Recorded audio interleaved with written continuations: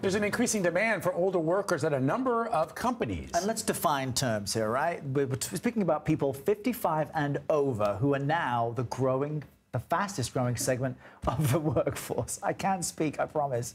The number of companies who signed a pledge to give workers over 50, a fair shot, rose by 122% last year compared with 2021.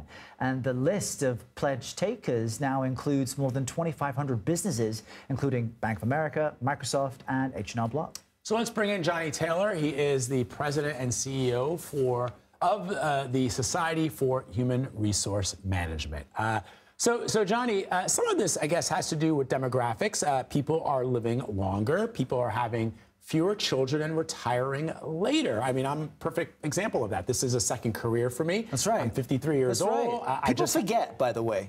That what? That I your that, age, so youthful, so joyful. That's true. This is that second round. This is my second career. I'm 53. I, I have a two-month-old at home. Um, I'm just getting started, right? So, so that's part of this. But give me some other examples as to why this is happening now. Talk about the qualities that people like me bring to the table that employers find desirable.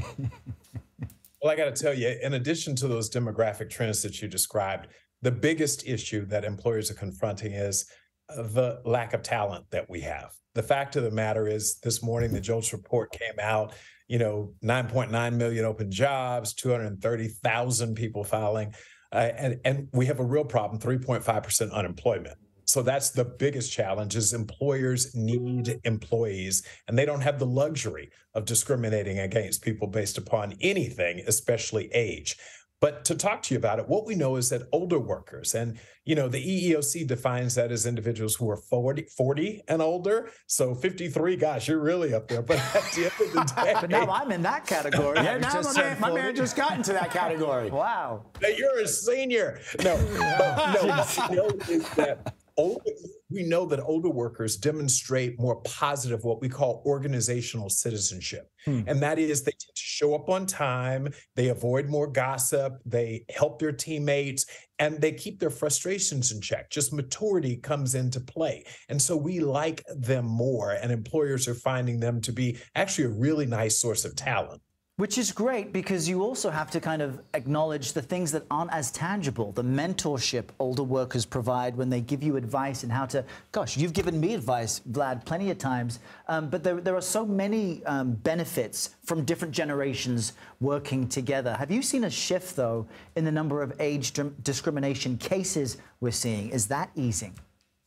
So that's dropped dramatically over wow. the last decade, some 40%. And some of that is because we worked at it, right? We, as employers, were very intentional about encouraging hiring managers in particular not to use their, allow their own biases uh, to come into play when not hiring or creating opportunities for older workers. So that was intentional. The enforcement done by the EEOC and other agencies was critical but again, I think what really is coming to play is that as a result, there are fewer cases of discrimination because we need those people in the workplace. And so we're far more willing to hire them and promote them, which is a really important trend as well. It's not just bringing people into the door. We're seeing what's being described as encore careers. You just described that, Vlad, right? Yeah. That people coming back in their 60s and expecting to work another 15 years, even at 60 years old. You know, it's funny, uh, Johnny and Errol, um, you, you, get junk mail sometimes, and it's usually for, you know, New York City, a lot of people like myself are renters. You get junk mail from the previous tenant. So I was going through my mail, and I'm like, oh, I got some junk mail from AARP. Let me, and I'm like, no. oh, heck no. like, this is not mine. I am not ready for this. I said, toss it. uh, Johnny Taylor, always great to talk to you, man. Thank you. Thanks, Johnny. Come back anytime. Great to see you.